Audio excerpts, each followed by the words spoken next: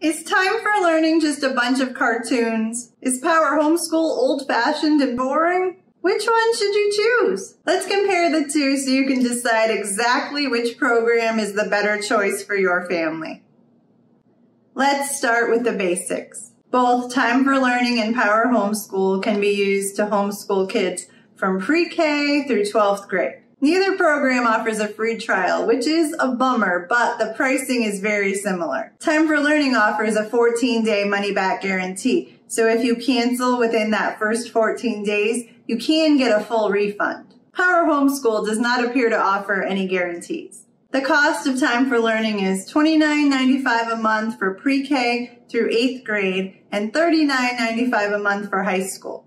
They do offer a discount of 30% off for each additional student and a 10% discount if you purchase an annual subscription. Power Homeschool, on the other hand, is a flat rate of $25 a month per student, no matter how many students you have enrolled. They also do not offer an annual subscription option. Both Time for Learning and Power Homeschool are not schools. They are online homeschooling programs, which basically means they are curriculums that just happen to be done online. Since they are not schools, they cannot be accredited. However, both Time for Learning and Power Homeschool do offer online private school options if that's something you're interested in.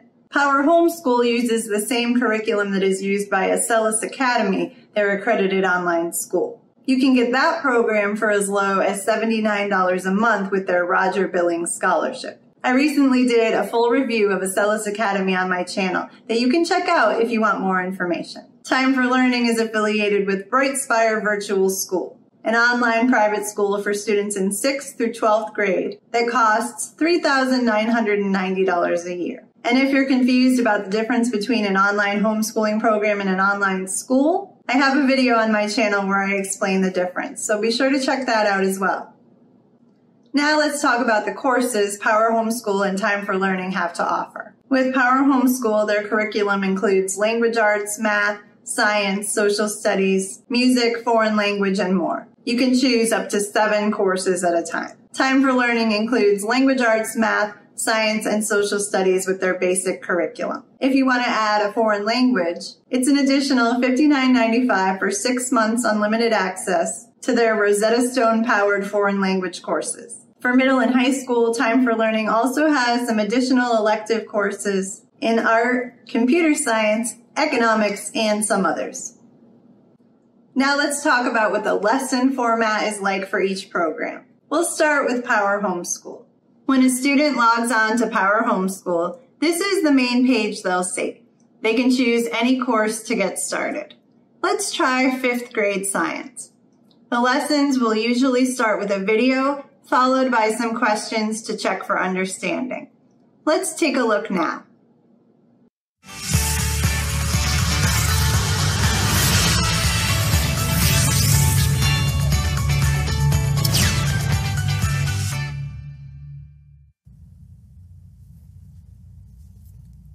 That was pretty good. Whew. Man, it's hard to balance a ruler on your hand, but it's not hard to measure things using rulers. Rulers are a very, very important part of science. Lots of different scientific things are measured using rulers. Rulers are used to measure linear units. So this ruler has inches and it has centimeters. Now, inches are part of customary units inches, feet, and yards. It takes 12 inches to create one foot and three feet to create one yard. Now, this is something that is common in the United States, but scientists all over the world use the metric system. It's a much easier unit because it's all based on 10. You know, in fifth grade, my math teacher's name was Miss Bird. She was this very tall, wonderful woman. And she would always surprise us if we did well on a test or something and do a cartwheel. That was one of the most memorable things about her. But the other memorable thing about her was she taught me this song. And I'm going to teach this song to you to help you remember the units of the metric system. you ready? I'm going to sing. Maybe I need a spoon, a fork. Here we go. It takes 10 millimeters to make one centimeter. It takes 10 centimeters to make one decimeter. It takes 10 decimeters to make one meter. It takes 10, my friend. It takes 10. Whew. I know I should stick to science, not to singing. But that was from fifth grade, and I remember that song all these years because it was just memorable to me and it made so much sense. So the smallest units are millimeters. They are the tiny little units that you see between the centimeters, and it takes 10. 10 millimeters to make one centimeter. If you think about the width of your pinky, that's about a centimeter, and 10 millimeters would fit inside that, like the tip of a pencil. Then it takes 10 centimeters to make one decimeter. I like to do this sign because of the school that I went to. So 10 decimeters, a decimeter is about the distance between your pointer and your pinky.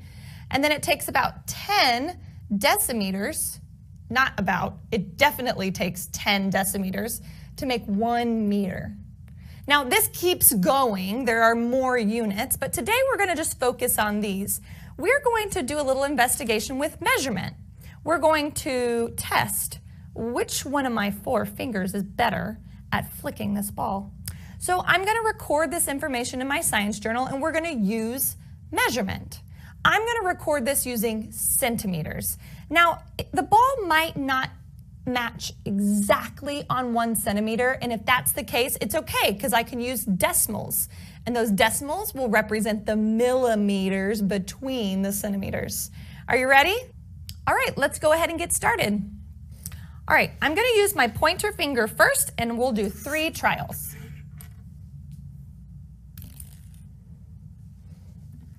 I started here at zero, and I'm going to measure from the front of the ball each time. This is 36 and 4 tenths centimeters. Wow, that went really far. I'm to have to attach another ruler to it.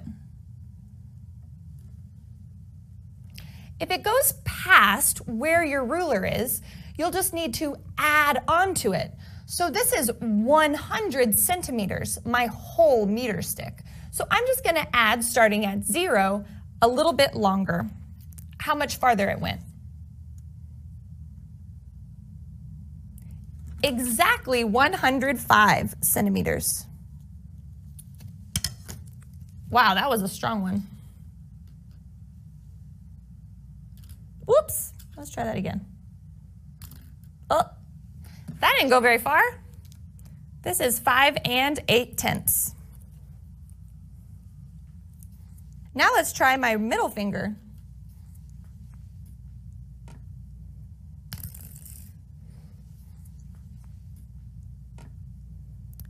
Ninety-nine and three tenths. One hundred seven and one tenth.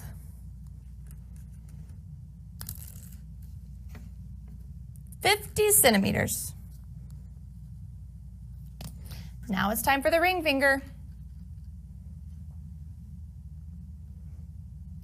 Oh, that one felt weird. Eight centimeters.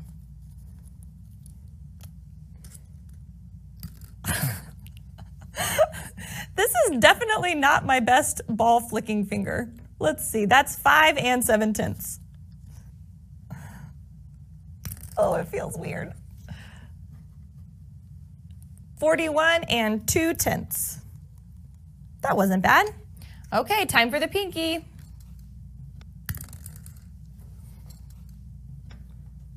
Thirty-five and three tenths. Forty-one and eight tenths. Last one. Oh, I'm getting better. 59 and 1 tenths. Well, I definitely think I will not be using my ring finger if I'm in a ball flicking contest anytime soon. But rulers are really actually very handy in scientific investigations. When you're measuring how far something goes, You can measure with force, energy, speed, but it's also something we can use with physical properties. Like a fork is a fork, right? Well, these forks are different lengths. So if I used my ruler, I would be able to tell the difference between them in their physical properties. So the plastic fork is 16 and 2 tenths, but the metal fork is 20 centimeters.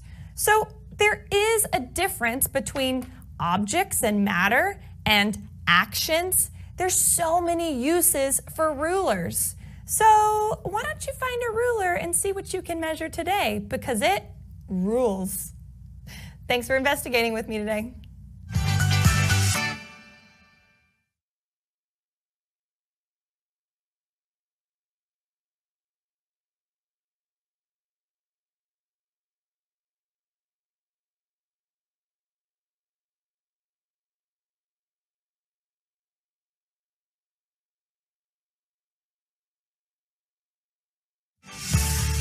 So that's what a typical lesson for Power Homeschool is like. Now let's take a look at time for learning. As you can see, the student view is very different. But the lesson format is generally the same, although there are some major differences between the two programs, which we'll get into in a little bit. For now, let's try a science lesson so we can compare it to Power Homeschool.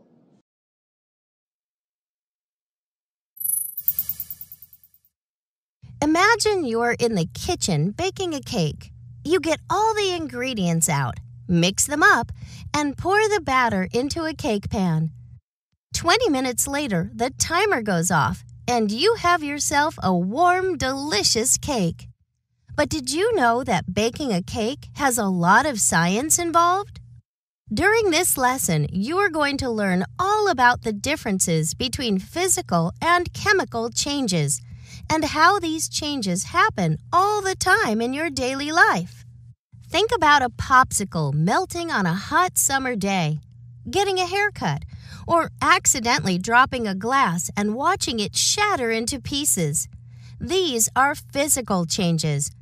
But when you're roasting a marshmallow over a fire, watching fireworks as they explode in the night sky, or noticing how bananas begin to rot when they aren't eaten quickly enough, those are chemical changes.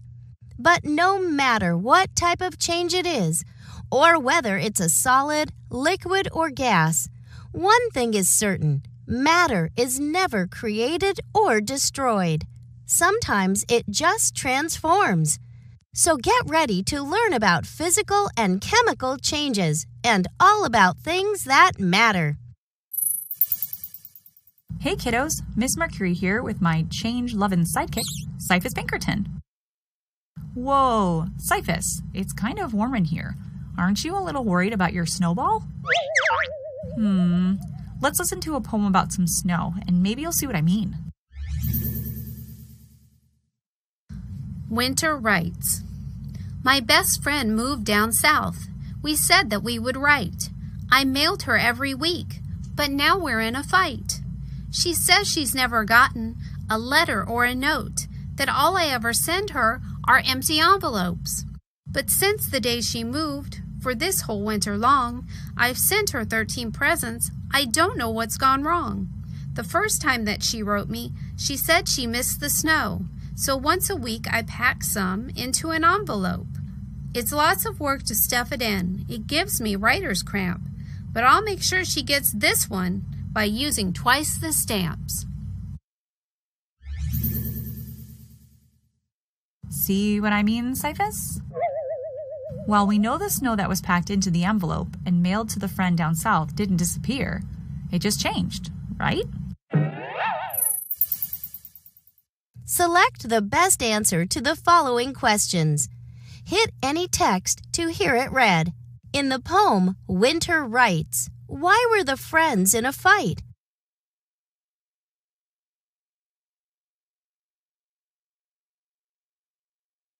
Yes, that is correct. Her friend was receiving empty letters, but they were originally sent with snow in them. What was actually happening to the letters and snow when they were being mailed? Great work!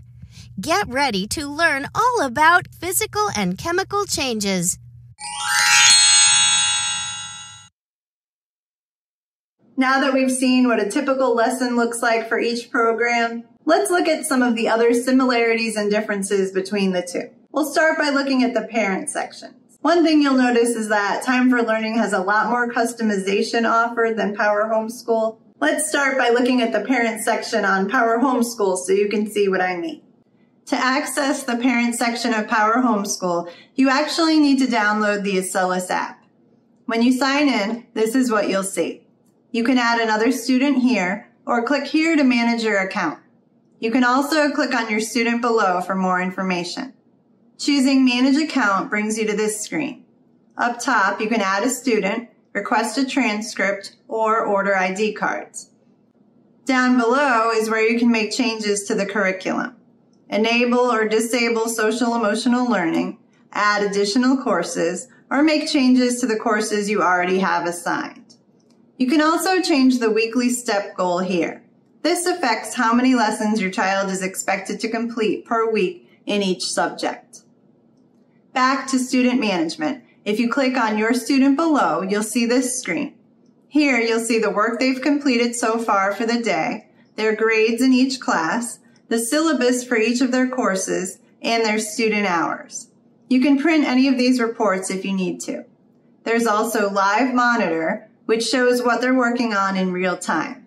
If you click up here on Edit Student Account, you can change their name and login info. So that's what you can do as the parent on Power Homeschool. Now let's switch over to Time for Learning and see what that's like. Here's the main screen you'll see when you log on as the parent. Below, you'll see some information about your child's progress. If you click on Manage Students, you can add additional students here and change some of the information for your child. Most importantly, this is where you will come if you want to adjust the grade level for a particular subject. Just click on Update Courses and you can change the grade level up or down or remove a subject altogether. Down below, you can assign the Language Arts extension and Time for Math Facts, which are available for extra practice at no additional charge. You can also view the scope and sequence for the courses your child is enrolled in and add time for languages if you choose to. The most important tab to pay attention to here is the lesson planning and reports. You can click on View Lesson Plans to see exactly what will be covered in each of the lessons, which can help you choose the grade level and which lessons to include. You can also access additional resources like reading lists, word lists, and supplies needed for the science courses. If you want to get really detailed, click here on Activity Planner. Here you can set things up either by how quickly you want your child to move through the curriculum or by exactly which lessons you want your child to complete each day. So there's a lot of customization offered here that you won't find on Power Homeschool. If you choose Curriculum Calculator, just put in the start and end dates and how many days a week you want your child to work, and it will show you how many activities your child will need to complete for each subject to meet the goal. If you click on Detailed Plan, you can make more advanced selections. Put in your start and end dates and select which subjects to include. Click Choose My Material, and this is where you can remove anything that you don't want to include in your child's curriculum, such as units that include material your child already knows. You can also remove quizzes and tests if you wish, and set the redo score if you like. Once you've saved your plan, you can also go back in and set specific days of the week for lessons. You can also mark lessons complete here, although Time for Learning will automatically keep track of this for you. The icon key here can help you understand what all of these symbols mean. You can also schedule breaks here if you need to. So you can see Time for Learning is a lot more involved as far as how you can set up your child's lesson plans and schedule. Whether that's a good or bad thing is up to you. Now let's compare the two programs from the student's perspective. We'll start with Power Homeschool. When your student signs in, this is what they'll see. So they can choose any class below to begin and go in any order they want. If they click on a lesson, over on the left here is the Resources tab. This is where they can see all the lessons for that course. They won't be able to skip ahead, but they can go back and view a lesson over if they need to. They can also view their weekly progress through the course. From the main screen, they can also view their progress for each course. They can see their attendance and grades just like in the parent section. There's a calendar here, but I have to admit I am not sure how anyone adds anything to this. If there are any special lessons for a particular course, they will appear here. Science Fair is where they can go to enter the Acellus Science Fair. Science Live is a video series they can watch designed to inspire a love of science. Library has a selection of books and videos in various subjects. There's also a student blog here. Now let's switch over to Time for Learning. This is the main screen your child will see when they log on. They can choose any course here to get started. If you've set up a custom plan, they will click on My Plan to see what's scheduled for each week. They can change this to list view if they prefer. They can also change the view up here, although if you haven't assigned lessons for specific days of the week, nothing is going to show up. They can open any activity to start. Time for Learning doesn't force them to go in order the way Power Homeschool does, which can be a bit confusing just because they could end up going out of order.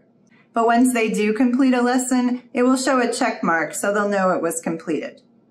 If we scroll down here, you can see there are some offline activities included in this program, which I think is nice.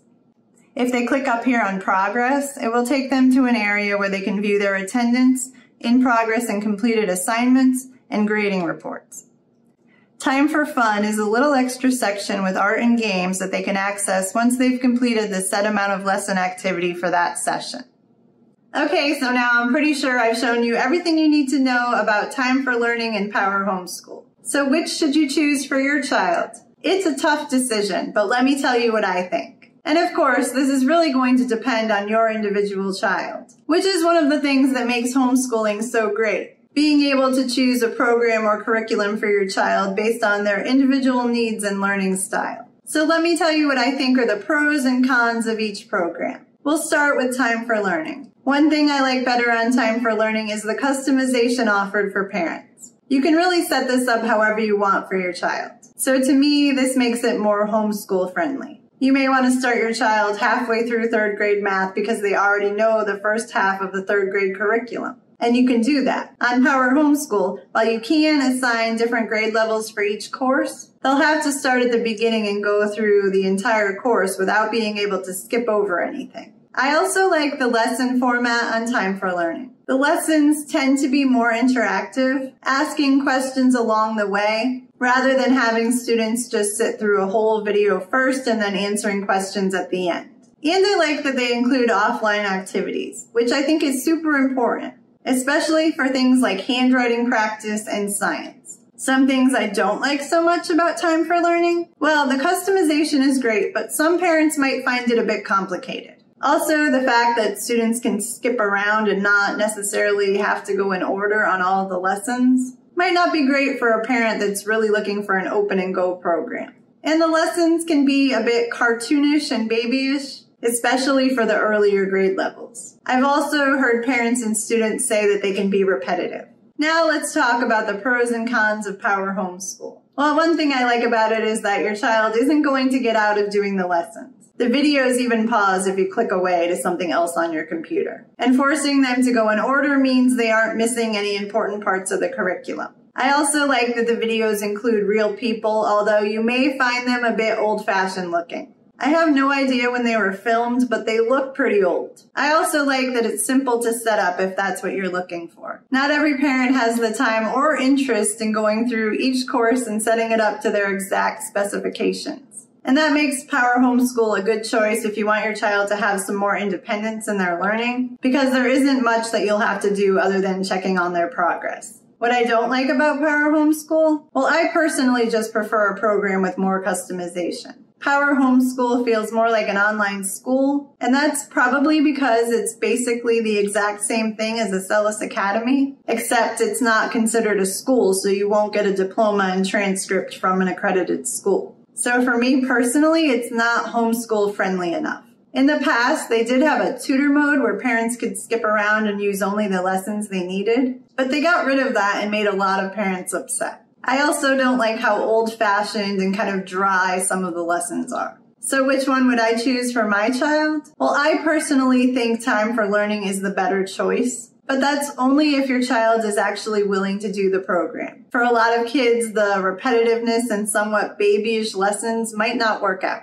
And if they hate doing it, they aren't really learning anything, are they? So it's really up to the child. And for a lot of kids, power homeschool might be a better fit because it feels a little more grown up. So my advice, choose the program that your child is more likely to enjoy. And if they don't end up liking it, you can always switch later on. Check out my full reviews of both programs, as well as many other online homeschooling programs you might not know about, such as study.com. And if you have any questions, please let me know in the comments and I'll be happy to answer. Thank you so much for watching.